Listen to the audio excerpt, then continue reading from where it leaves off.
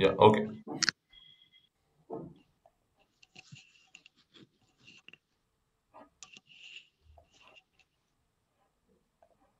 Okay, so first thing is, bro, if possible, you please go on mute. And, uh, I think there is some uh, uh, background noise. So, uh, whenever I ask for a doubt, no, I mean, then you can unmute. Okay, okay, thanks. Okay, so how to schedule maintenance plans in a background? See, generally what we will do in IP10, we, you also know in IP10 what we will do, we will schedule a CHE DUL, schedule a maintenance plan, correct? In IP10. That how we will do, that is manually we will do, right? Manually we need to schedule, right? Only and then also there is one more drawback here. What is the drawback? Only one plan you can schedule for one time, correct? Only one maintenance plan. Only one maintenance plan can be scheduled at one time, right? And also there is one more drawback. Let me put it disadvantages. Okay, disadvantages. And what is the another disadvantage? Someone, some user manually need to go and schedule a maintenance plan. And you need to do that every day, correct? Or every uh, one hour, each one hour, right? Every day or uh, twice a day, correct? Twice a day. User should manually go on manually need to schedule. If it is a let us let us think if it is a if it is a very big plant, plant, okay, if it is a very big maintenance plant, there are multiple number of equipments there, and uh, each there are let us say in that maintenance plant you have more than 100 number of uh, maintenance plan, not even 100, more than 500 number of maintenance plans. So user, whoever the user is there, he need to daily go and uh, schedule the maintenance plan, right? So it is not possible because user cannot plan each uh, schedule each and every plan manually. It is not even possible. So for this, what SAP has came up, SAP has came up with one transaction known as IP30. Okay, very very very important. IP30 is a transaction. So the name of the T code is IP30 and it is known as deadline monitoring. Okay, deadline monitoring. So what is this IP30? Which means that this is the automatic scheduling. C H C H E D U L A N. Automatic scheduling of maintenance plans. Okay, automatically system itself will schedule. So how system itself will schedule? That is based on the scheduling. C H E D U L I N G. The scheduling happens based on a background job. Okay, very very important. Because uh, in today's world in the real time no one will go and okay one or two plans if they want to check they want to test right? They'll go to ip10 and they will schedule. But if there are um, multiple plans multiple maintenance plans then what uh, any client will do? They will schedule one background job. So what what happens when they schedule a background job they will give the timing like see for every one hour for every one hour the job should should execute should execute in the backend okay? In the backend so what does this mean? This means that every one hour system itself will run this program. System itself will uh, execute that particular background job Okay, then what happens? We will already include our, we, will, we have already include our maintenance plans, all the maintenance plans or selected maintenance plans in that job. So what will happen? System itself will, whenever system uh, runs every one hour, it will schedule all the maintenance plans which are included in that particular job. Okay. That is how uh, the planning, I mean, the scheduling will happen. No one will go out to IP10, uh, take one plan, each and every plan. No one will go and schedule. See, anyway, for our testing purpose, uh, since this is a demo client, we want to test in the front end. We all this just what we were doing. We were taking each and every plan and we are going to IP10 and we are scheduling and we are checking. We're checking whether the call date and the plan date is coming correctly or not. That we are checking. Now, uh, as per the real time, what happened? Since, as I told, there are multiple number of plans in any uh, client, they will simply go on schedule a background job and they will uh, it will run every one hour daily. No, no one, no need to go and check uh, whether it is running or not, whether the plans got scheduled or not. Nothing. Everything will system will take care on its own. So now we will see this how how to schedule this, how to create a background job, how to include the plans in that background job, and what will happen. Everything we will see. Okay. So now go to SAPI. Let me log in. Okay. First, let us let us take out our maintenance plans. Okay. First, let us take out our maintenance plans. So, what is the T code? To see the list of plans, IP18. Okay, IP18 is the T code to see the list of plans. Okay, maintenance plan is AMR1. See, how many plans are there for us? Uh, how many? 1, 2, 3, 4, 5. Oh, this is 349 is 1, 1, 1, 2, 3, 4, 5, 6, 8 plans are there. Okay, 8 plans are there. Uh, we will also let's let's uh, add few more fields here. Sort field we will take. Okay, maintenance plan we will include in the report. Cost center we will include in the report. Right? Fine. Yeah. So sort field.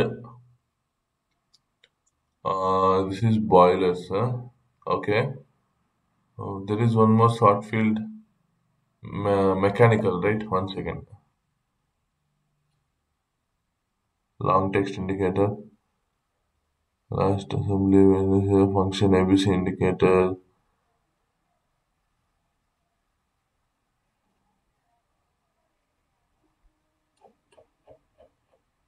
equipment number, settlement rule, task list type, status, main work center, last order, assembly, maintenance activity type, ABC indicator.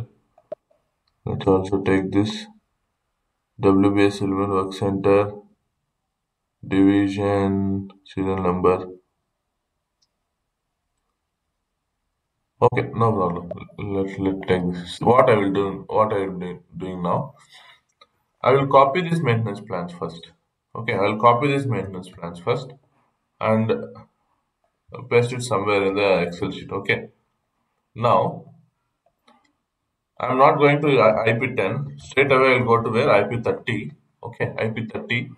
See, deadline monitoring for maintenance plans, batch input IP10. Here, what I'll do, I will include all these plans here. Okay, in the maintenance plan uh, field. I have entered all the maintenance plans whichever I want to schedule, right? I have copied this. I have entered here. Okay.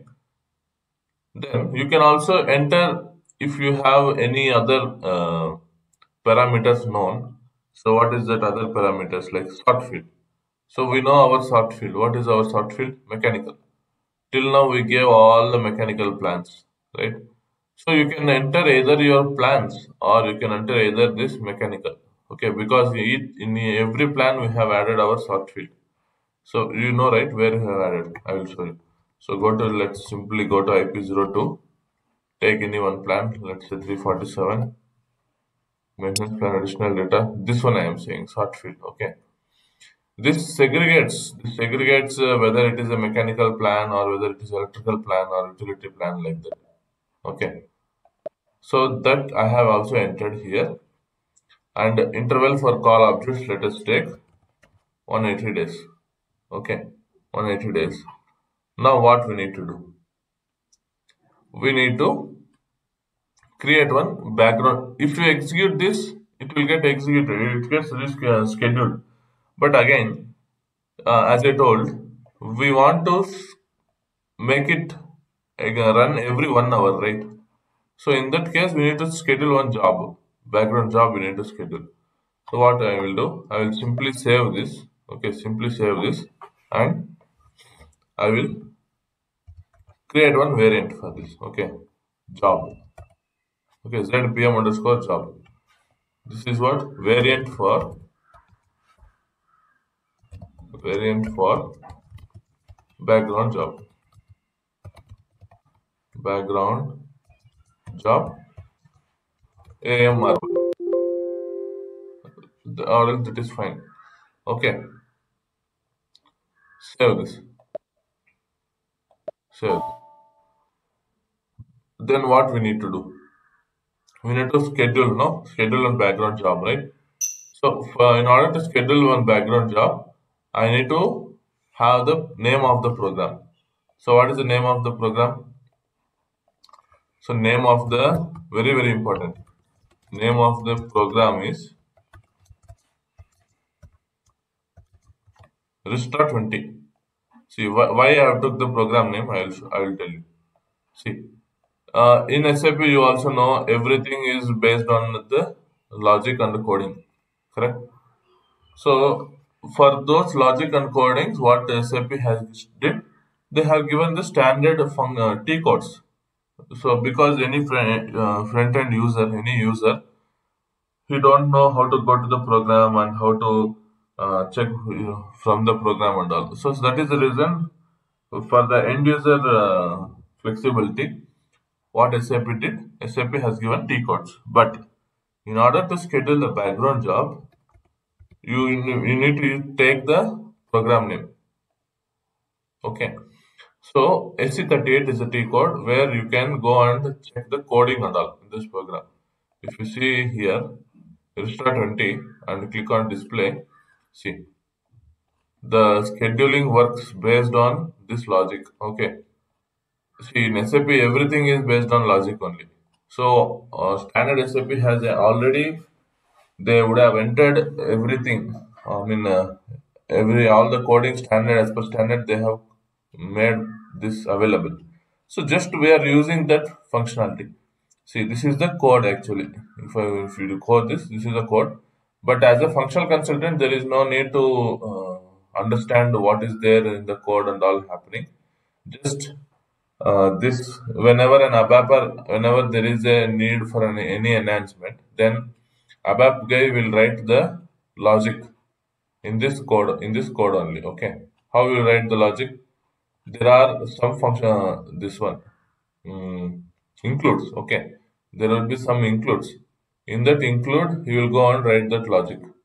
Okay, that and all we will discuss. Uh, what is an include? uh, how we will write the logic in this standard program and all we will discuss.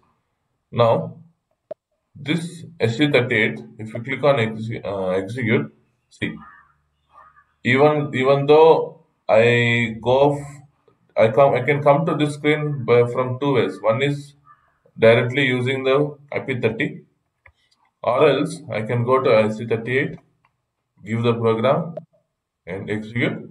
It will re re return to the same screen. Okay. So now it means that that is the program which we want to use to schedule the background job. That is clear. Now our next target next action is we need to create a background job. So what is the t code to create a background job?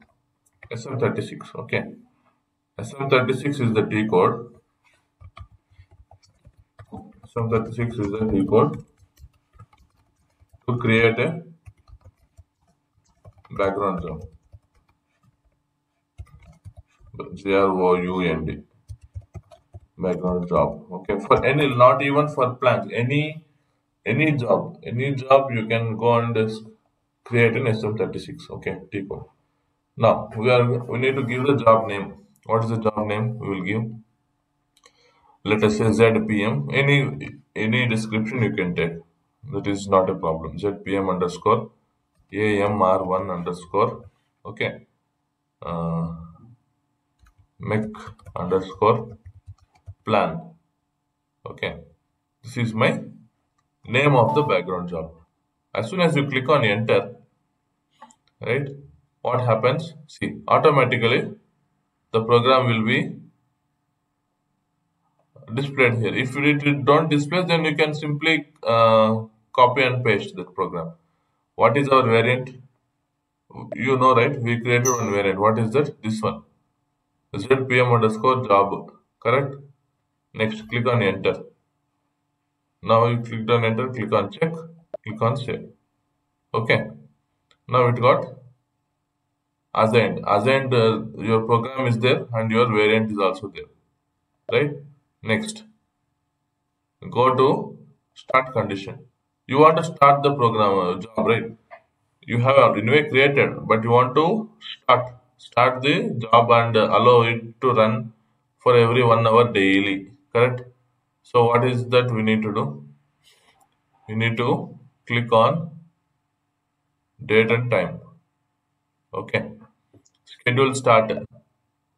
From today we will start. Okay. From today we will start.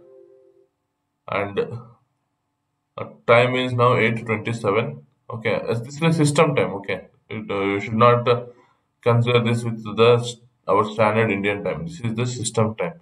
8.27. So let's move it to 30 830 okay continue okay and this is a periodic job correct because we are setting some intervals. So tick on the periodic job. And uh, we will allow this program to run till december sorry january 2022 okay? Every day it will run. Every day it will run. Okay? So 30 execute. Uh, periodic job period values. Uh, let's let's give it as uh, other period. Okay. Uh, start job every hour every daily once we will schedule okay? Or daily once we will schedule. Daily. Okay daily we have executed. Okay. A daily at 8.30 it will schedule. It will run. Okay.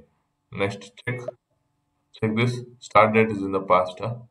okay so let's put something uh, 9 and check. Start date again is in the past. Yeah. what is this? 10 there is a different. Start date is in the past. Okay let's let's uh, use 14 okay. Okay from today it will start until January 30 check we have check this. Period values again we will cross check. Daily it will should run. Okay. Check. Save this. Save this. Okay. Again we'll cross check. This is fine. Uh, spool is there? No spool. Uh, one second. Uh, external number program name. Okay. This is fine.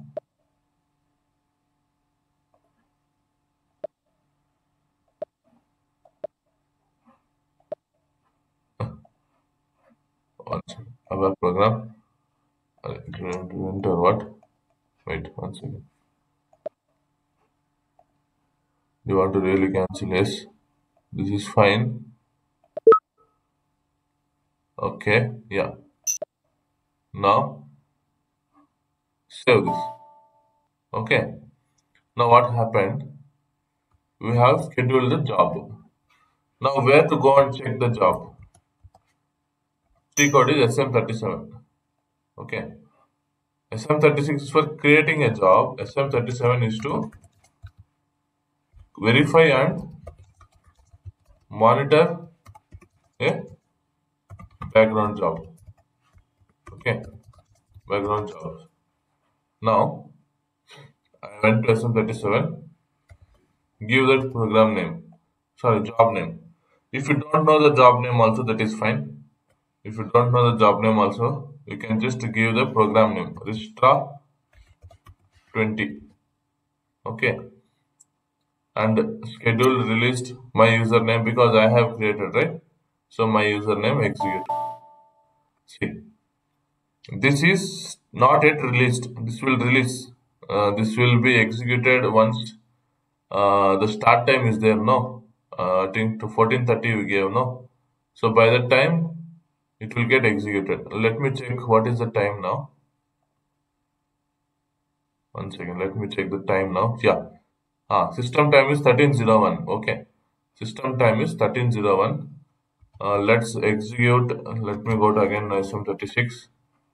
Uh, I'll change that to uh, wait one second. I'll change that to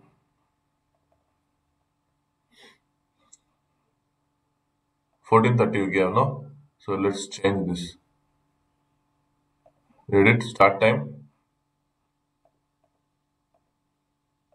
Not changing or what? One second. System go to start time.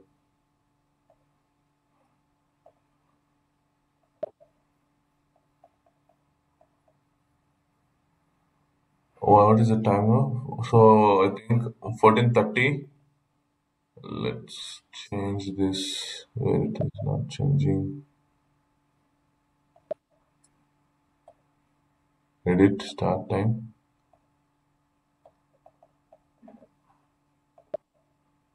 uh, it got grayed out here. Okay. So there's no problem. Then uh, by what i am thinking by the time i mean uh, at least before 9 if it runs so before 9 it will like 2 only. Okay that we can check tomorrow also. The start will it will execute exactly on uh, 9:30 it will execute exactly on 9:30 that we can check tomorrow. Uh, tomorrow if we put the backdate and check also we will find out. So what happens? What happens when this particular job will be executed? Then we know right like here we have already included our maintenance plans. In this particular job we have already included our maintenance plans. How how we have included our maintenance plans? If you see this if you go to the variant okay if you go to the variant see we have 347 48 49 50 51 52 53 54 55 so all these maintenance plans we have already added here which means that once the job will execute at 9.30 our time 9.30 whatever the uh, based on the call horizon and the scheduling period and the interval of the plan system itself will execute and create the maintenance orders no need to go manually and uh, create the maintenance orders system will execute and create itself. So even in the real case this is how the maintenance orders will be generating. No one will go and schedule uh, the each and every individual plans uh, one by one. Just they'll simply create one background job and they will put they'll group some uh, maintenance plans based on the sort field or maintenance plan category or whatever the groupings criteria so they will group the maintenance orders and they will schedule the background jobs and lead. In future if they want to if they want to add a few more maintenance plans okay they'll simply come here they'll add here. So like this they will simply go on adding. It there is no limit here any, any number of maintenance plans they can come and add here and those get scheduled automatically. Okay that is how uh, the background jobs background scheduling happens okay i hope uh, you understood this uh, once Uh, this fine. yeah so once this executes right once this execute uh, tomorrow you can check uh, how the maintenance plans got scheduled and all. Okay. I think uh, all of our maintenance plans, there are no such orders which are which can be executed by tomorrow itself because everything are ours is either uh, it is a months or it is a weeks. There are no such day intervals. But still, I will show you like uh, uh, how this got executed and all. Okay. This is how the background job will be created, uh, in even in the real time also. Okay. Uh, now let me stop the recording and uh,